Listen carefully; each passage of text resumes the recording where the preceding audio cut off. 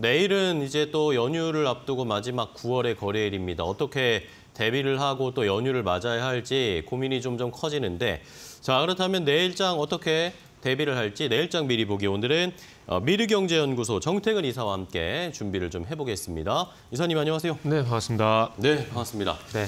자 시장이 이게 참 아, 계속 내려가는데 이걸 어떻게 해야 될지 고민이 많습니다. 이게 이 추석 연휴 때문에 떨어지는 것은 분명 아닌 것 같습니다. 그렇죠? 우리만 그렇죠. 떨어지는 게 아니라 뉴욕도 떨어지고 아시아 시장도 전반적으로 좀 좋지 않은데 내일은 어떻게 대비하고 계세요?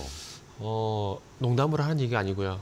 뭘 하려고 하지 마십시오. 네. 지금 시장은 뭘 하려고 할수록 계속 미국에 빠질 수밖에 없기 때문에 그런가요? 지금은 그냥 추석 이후에 투자 심리가 좀 괜찮아진 여, 괜찮아진지 여부만 좀 보라고 좀 말씀드리고 싶어요. 어, 무슨 얘기냐면은 어, 코스닥 기준으로 보게 되면 오늘도 하락 종목 수가 1,200 종목이거든요. 네. 지금 제 기억이 맞으면은 한 4거래일 연속 코스닥 기준으로 봤을 때 음. 하락 종목 수가 1,200 종목입니다. 상승 종목 수가 300 종목 정도 되고요.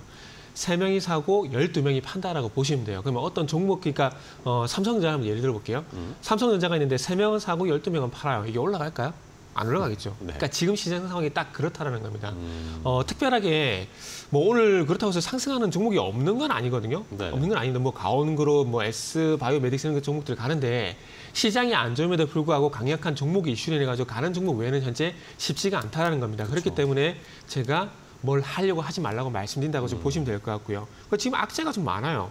미국 금리 이슈 있죠, 셧다운 이슈 있죠, 그리고 헝다가 또 그 계열사가 원리금, 원리금 그 40억 위안을 상환을 하지 못해가지고 또 헝다 얘기가 또 부동산 얘기 또 얘기 나오거든요. 네. 악재만 너무 많아요. 그러니까요. 그리고 지금 어찌 보면은 가장 큰 이유는 미국 금리잖아요. 음, 근데 이게 어찌 보면은 불확실성이거든요. 우리가 그 미국 증시 보실 때, 그 이번에 FOMC 보실 때 고금리가 뭐 장기화된다 요거만 보시는데 어, 파월이 했던 얘기를 보게 되면 시장이 혼란스, 혼란스러울 수밖에 없어요. 하나 예를 들어 볼게요. 네. 이 점도표 제시하잖아요. 음. 올해 5.6% 내년 같은 5.1% 올렸잖아요. 근데 점도표를 보고 파월이 무슨 얘기를 했냐면은 실제 계획이라고 말하고 싶지 않다. 그러면 왜 제시를 해요? 네. 왜, 왜 제시를 하는 겁니까, 그러면? 그러니까 이거 예를 든 건데, 그러니까 이런 것들이 시장이 오락가락 할 수밖에 없고 어떻게 될지 모르겠다고 할 수밖에 없는 그런 상황으로 만들고 있는 겁니다. 그러니까 시장이 지금 변동성이 커지고 있는 거죠. 그렇기 때문에 어, 소위 말하는 이런 그 파월이 했던 얘기를 포함해서 뭐 홍다 이슈도 있고 셧다운 이슈도 있고 금리 이슈도 있고 이런 것들이 마, 마법이 달아 있잖아요. 선반영.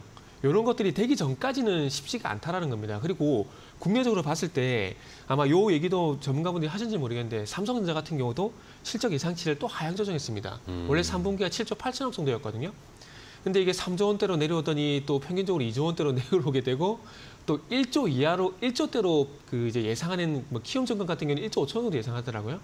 삼성전자를 포함을 해가지고 이 실적 시즌에 들어왔는데 어닝 쇼크 가능성에 대한 얘기도 조금씩 나오고 있어요. 어, 그러니까 이런 것들을 봤을 때 지금 시장이 좋으면 이상한 거지 않겠습니까? 네. 그렇기 때문에 뭘 하려고는 하지 마십시오. 그렇기 때문에 일단은 지금은 뭐 추석 전까지 계정에 계좌 닫아버리고요. 내일 반등이 나온다고 하더라도 닫아버리고 추석 이후에 좀 다시 보란 말씀드리고 싶습니다. 그리고 뭐 지난주에도 말씀했지만은 짧은 수남에 의한 개별 종목 장세 이게 좀 지속이 되고 있습니다. 이런 장세에서는 두대잡기식 매매를 할 수밖에 없기 때문에 네. 쉽지 않습니다. 그냥 알겠습니다. 쉬십시오.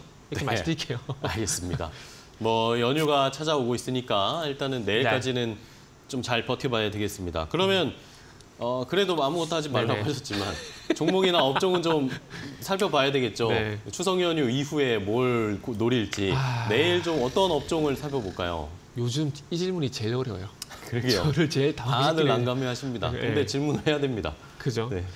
어 이제 어제부터 이제 새롭게 보기 시작한 건 이제 엔터 어, 말씀드리고 싶고 그리고 지금 말씀드리고 싶은 거는 이제 네옴시티 네옴시티. 네, 말씀드리고 음. 싶어요. 그러니까 이슈가 있다 보니까 뭐 기대를 할 수밖에 없을 것 같습니다. 지금 이제 10월 달 중순에 사우디 방문을 정부에서 추진을 하고 있는 상황인데 어 어쨌든 네옴시티도 그렇고요. 그리고 이제 우크라이나도 그렇고 수주를 받아야 됩니다. 근데 지금 우리나라만 수주를 받는 게 아니잖아요. 네. 일본, 중국, 세계 각국에서 수주 받으려고 정말 진짜 피 튀는 경쟁을 하고 있는데 그러다 보니까 이제 10대 그룹 총수급으로 이제 방문단을 확대를 하고요. 그리고 이 전경련에서 한경협으로 이름이 좀 바뀌었지 않습니까? 네. 그래서 한경협 같은 경우도 이제 사우디 리야드, 카타르 도하에서 파견된 이제 경제 사절단도 이제 모집을 하고 있는 상황이다. 그만큼 이제 정부도 그렇고 재계도 그렇고 사활을 걸고 있다라고 보시면 될 것 같아요. 그래서 이런 이슈들이 있기 때문에 10월 중순이면은 이제 추석 지나면 이제 10월 초잖아요. 그러면 이제 조금 이제 이슈가 선반영이 이슈가 좀 빨리 움직이면은 아마 이 사우, 네옴시티 관련주가 좀 움직이지 않을까 좀 판단했거든요. 그러다 보니까 오늘 내일장 유망 섹터 같은 경우 네옴시티 관련주 좀 말씀드리고 싶고 어 거기에 관련돼 가지고 뭐 금양 그린 파워라든지 SY 희림 뭐 알고 계시는 종, 계시는 종목들 일단 우선 보시면 좀 좋을 것 같습니다.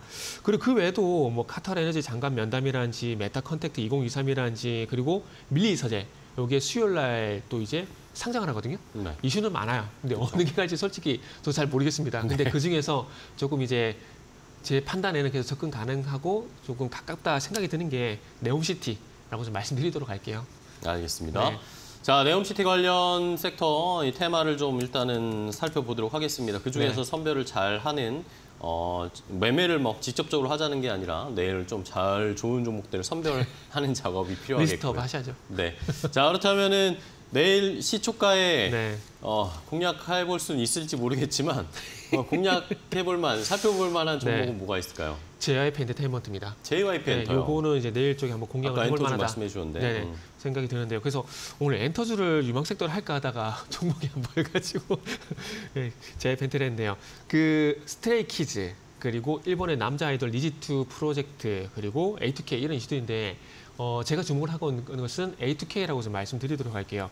그 A2K 같은 경우는 북미 쪽에 이제 아이돌 프로젝트 그 아이돌 프로젝트라고 보시면 되는데 네. 이게 마무리가 되게 되면서 비차라는 이제 북미 현지 여자 아이돌이 공개가 됐습니다. 네. 그래서 11월 달이나 12월 달에 이제 미국에 데뷔할 예정이라고 하는데 저는 그 하이브의 뉴진스처럼 그 성공 가능성이 상당히 좀 높다라고 좀 어. 보고 싶습니다. 저도 이게 어, 내용 찾다 보니까 좀 알게 된 부분들인데 일단은 JYP USA 리퍼블릭 레코드 토- 레코드 소속으로 이제 미국에 진출을 하게 됩니다. 음. 그런데 아시다시피 어, JYP 엔터테인먼트 같은 경우는 팬덤 비즈니스를 상당히 잘합니다. 잘하고 이 리퍼블릭 레코드 같은 경우 이제 대중성을 이제 공략을 해야 되는데 어, 리퍼블릭 레코드 뒤에 누가 있냐면은 전 세계 3대 레이블입니다. 3대 레이블인 이제 유니버셜 뮤직이 있는데 음. 이 회사가 또 뭘 잘하냐면은 이제 미국의 메이저 라디오라든지 방송이라든지 행사 쪽으로 출연을 시킬 수 있는 막강한 파워가 있어요. 그러니까 즉 이제 시장에서 어떤 그 대중성의 유행을 가져갈 수 있는 그런 어, 노출을 상당히 잘 해준다라는 겁니다. 음. 예를 들게 되면 트와이스가 미국에서 상당히 지금 현재 잘 나오고 있거든요. 근데 이게 리퍼블릭 레코드의 힘이 상당히 컸다라고 어. 합니다. 이게 뒤에서 든든하게 뒷배경이 됐다라는 거죠. 그렇기 때문에 또 이제 그 블랙핑크 같은 경우도 리사가 태국에 상당히 인기가 많지 않습니까? 음. 그것처럼 미국 현지 아이돌에다가 이 리퍼블릭 레코드가 조금 힘을 받쳐주게 되면은 저는 미국에서 뉴진스만큼의 어떤 선풍적인 인기가 가능하다 이렇게 좀 어. 생각을 하고 있습니다. 그래서 어, JYP가 팬덤을 모으고 리퍼블릭 코- 리퍼블릭 레코드가 이제 대중성을 키우게 되면은 성공 가능성이 높고요. 그래서 아마 이런 것도 도움, 도움이 되실 것 같은데 pre 데뷔 아직 그 데뷔를 한 건 아닙니다. 음. pre 데뷔 싱글 타이틀곡 YO 유니버스가 있는데 이게 유튜브 worldwide trending 1위를 벌써 차지했어요. 음. 그러니까 그만큼 북미에서 벌써 이제 이슈가 되고 있다는 거죠. 그래서 그런 부분들을 봤을 때 이 JYP 엔터테인먼트 같은 경우도 뉴진스 같은 그룹을 가져갈 가능성이 높다. 네. 이렇게 판단이 되다 보니까 JYP가 좋게 보였다. 네. 이렇게 말씀드릴게요. 그래서 좋습니다. 마지막으로 가격 전략을? 말씀드리면은 이제 11만 원에서 11만 5천 원 정도 가격 전략을 좀 말씀드리고 싶고요. 목표가는 13만 5천 원인데 이게 최종 목표가는 아니고요.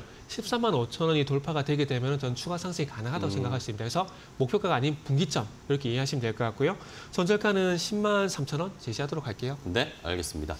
자, JYP 엔터 내일 시초가에 한번 살펴보도록 하겠습니다. 말씀해 주신 것처럼 새 걸그룹이 과연 정말 인기를 폭발적으로 얻으면서 주가도 함께 올라갈 수 있을지 한번 지켜보는 재미도 가져보시기 바랍니다. 자, 오늘 정태근 팀, 이- 정태근 이사님, 정태근 이사님과 함께 이야기를 나눠봤습니다. 오늘 좋은 전략 소개해 주셔서 너무 감사하고요. 네.